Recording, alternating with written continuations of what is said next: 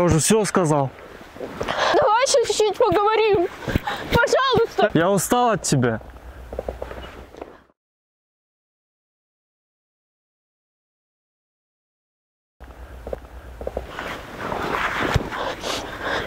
Ну ты не можешь так со мной поступать. Ну, коммунист.